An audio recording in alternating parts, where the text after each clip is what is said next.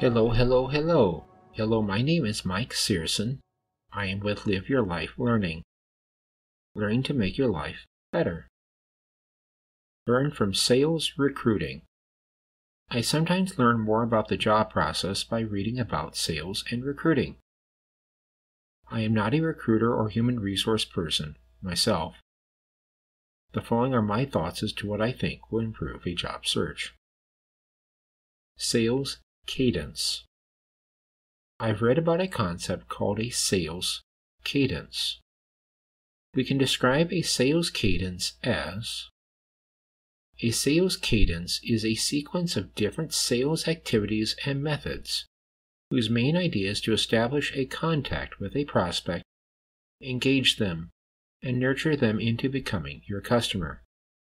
What's also an indispensable part of any sales cadence is a timeline that is a frequency of these activities.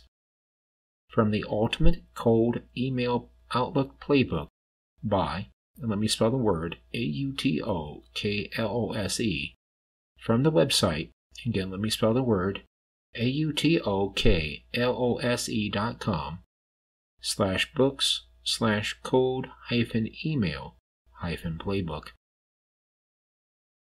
As I understand it, a sales cadence is a schedule set along a timeline composed of different ways to contact a prospect. The timeline goes from initial contact to follow up. The goals of the contact is to change a prospect into a paying customer. The major methods of contact are the phone and email.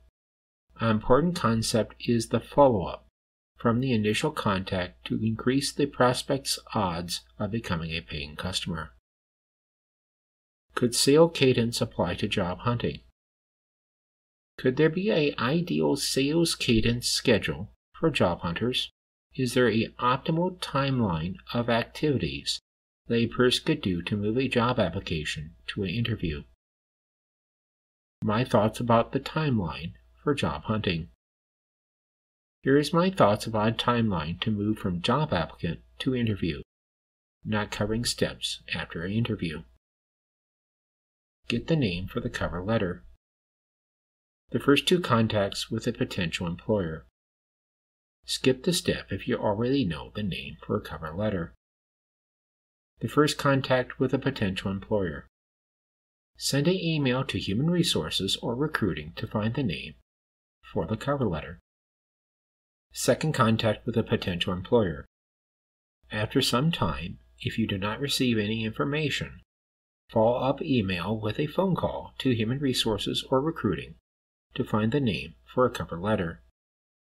You may not be successful in finding a name to a cover letter. Apply for the job position. The third contact with a potential employer. Fill out an application to apply for the job position at the same time also send out an email to your potential boss. Follow up with email, the fourth contact with a potential employer. If you hear nothing after some time, follow up with an application with an email. Email your potential boss if known, otherwise, someone in human resources or recruiting. Follow up with a phone call your fifth contact with a potential employer. If you hear nothing after some time, follow up with a phone call.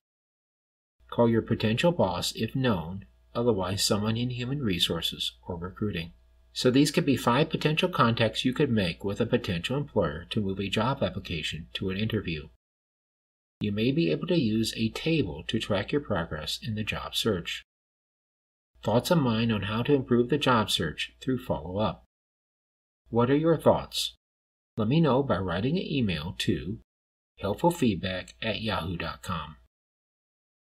The purpose of this content is to provide insight, research, and opinion, not to provide professional, legal, or tax advice.